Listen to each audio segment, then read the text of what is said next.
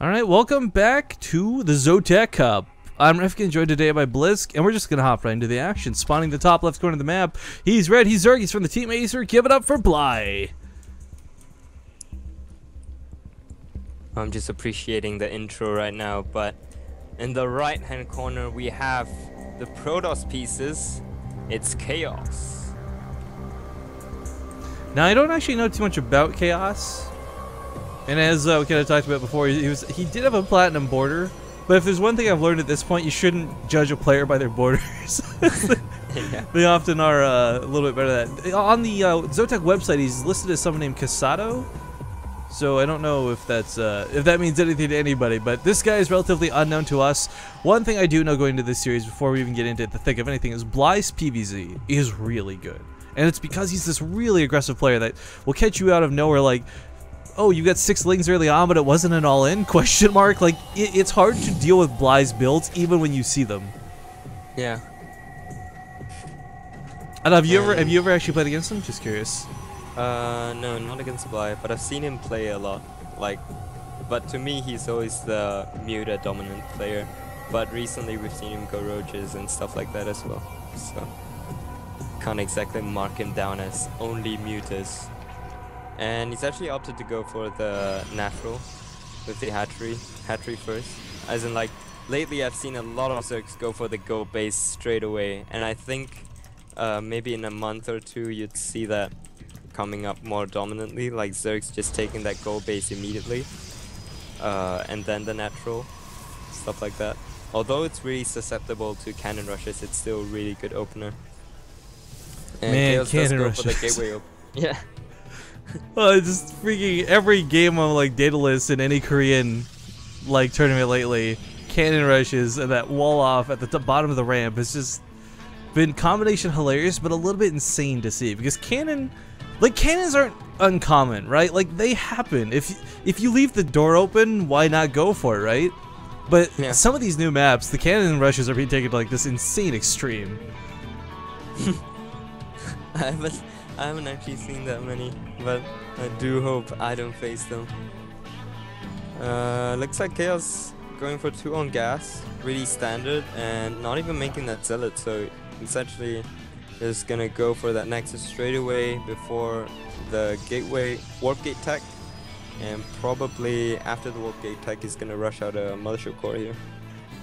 Yeah, that's kind of the the really yeah. nice nuance of Protoss is there's not a lot to their early game because you've got a lot of the same buildings. You can't really change up the build order. It's not like Terran where you decide to make three racks instead of like a factory type thing. But you can watch their gas counts and it really does tell you what they're indicative of, and that's why scouting information is so big. Bly's Overlord sitting here, he can clearly see it's just two and two on each, so he knows that there was nothing crazy like a Stargate coming his way or Dark Templar even anytime soon.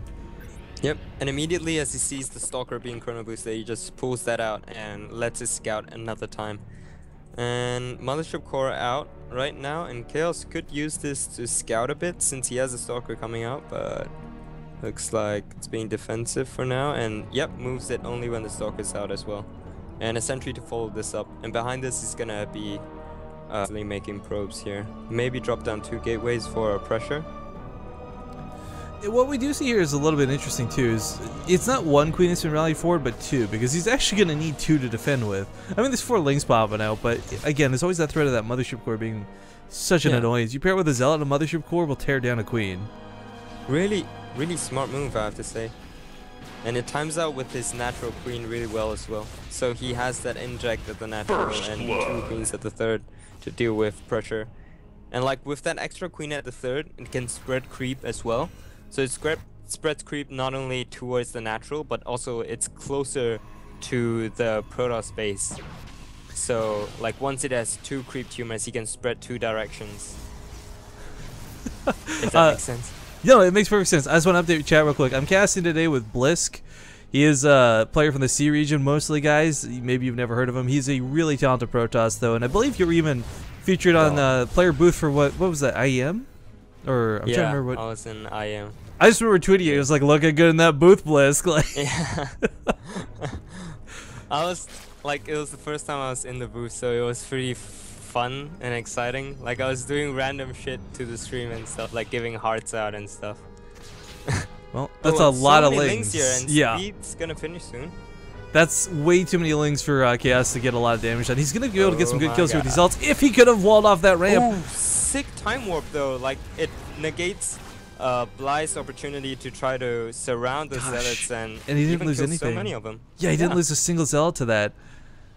Three more zealots on the way as well, and he's got so many zealots here. No spine crawlers, so as long as he keeps the keeps the zealots close. He's clumped. waiting for metabolic He's- boost. It's two in-game seconds away. Oh there we go. God. Now finish Oh, up you're Queens. Oh man, the Queens were trying to focus down Oh, that mothership core. time up here.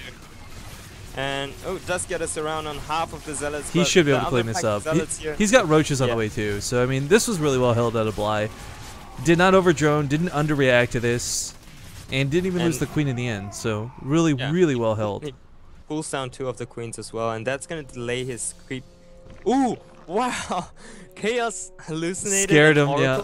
Scared him right on the into main. Pulled off all the drones. Like a little bit overreacting there. I- it was, yeah. So it, it was possible, so you can't really blame him for it. Oh no, absolutely. It was, it was really smart. It would have been terrible if he didn't pull off that was a real Oracle, Yeah, but exactly. it's worth noting he did throw down spore crawlers at each base too. So now very aware that that could be a possibility. Gonna play it a little bit safe. It's kind of one of those moments like uh, like oh great, I thought he was just warping in zealots. I didn't realize there was an Oracle follow up type thing. Like if that were to happen. Yeah. Uh, looks like Roaches did try and knock on the front door of Chaos, but unfortunately were driven back. Both players on pretty nice worker count, but of course for Bly, he's not only mining off of a gold, but it's his third base up over his opponent too. So ec- economically, he's going to be able to just throw units away in a little bit of time. And that's kind of the point of the gold base. Like, you really want to bully your opponent with your economy quickly. You see players do it normally with a third base, and it's not usually too much of a threat. But with a gold base, that's an that's like double your ling amount right there. Yeah, and I find it interesting why Bly actually didn't send his Overlord into the Protoss base while he was getting harassed. It's actually a really good timing because behind pressures, Protoss usually look to tech.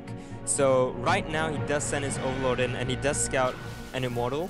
And he should know that this Immortal Sentry follow-up is coming. He scouts What- for additional gates as well. That's not the immortal he's gonna see though. It's gonna be the warp prism popping out with the extra gateways. Oh, Suddenly becomes a little bit more saw one- paranoid. yeah, he saw one Immortal one. I was on his camera view, so yeah. Just one though. That is so many sentries Eh. paired with it though, and they do have a, a pretty healthy amount of energy. Nine sentries in total.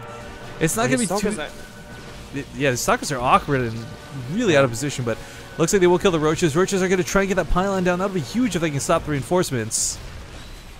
Yep. So both And- pylons but fall. he does clean up all those roaches, so that might be a little bit. Whoa! Actually, Bly already has four spine crawlers right at the middle Yeah. of the intersection between the third and his natural, and even spore This- crawlers right there. That's. This isn't gonna stop This this push though. I mean, this will help delay him by a little more time. If the queens are pulled with this, then maybe it's a little bit better. He's throwing down He additional spine crawlers. He knows how badly Yeah. he needs these. He has to flank with this because, like, with those spine crawlers, it's much easier to force field. Where are those? Where's the? Oh, the warp prism's actually going into the main here with three zealots, and he's actually gonna pick up that queen. Ooh, that's gonna be rough. Bly, of course, can't afford to pull any reinforcements back. Sentries on the front lines, though, are just being bussed down like nothing. I'm not sure if that's a mistake here out of Chaos, as he does kind of give away about four sentries there for free. Ling's coming from the behind, it's coming but Yep, still holding on to try on this. the flank there, but uh, his force fields just didn't allow the roaches to get up to him, so he's dealing with one pack of units at a time. And his zealots are dealing enough damage in the main. I think he's He- he killed pulled, off like, y- 10 workers.